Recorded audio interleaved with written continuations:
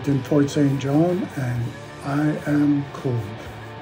It was five degrees this morning when I got up and it didn't get warmer than eight degrees. Stopped halfway for uh, hot chocolate and I had to use both hands because I was shaking so bad. I'm in the room now, warm, I'm fine. Uh, don't know whether I'll be going anywhere tomorrow. It's talking about rain, but if it's just drizzle, well, then I'll still go out. But the next two days are, the high is eight degrees. So it's going to be cold for a couple of days now. Well, we'll talk to you later. Take care.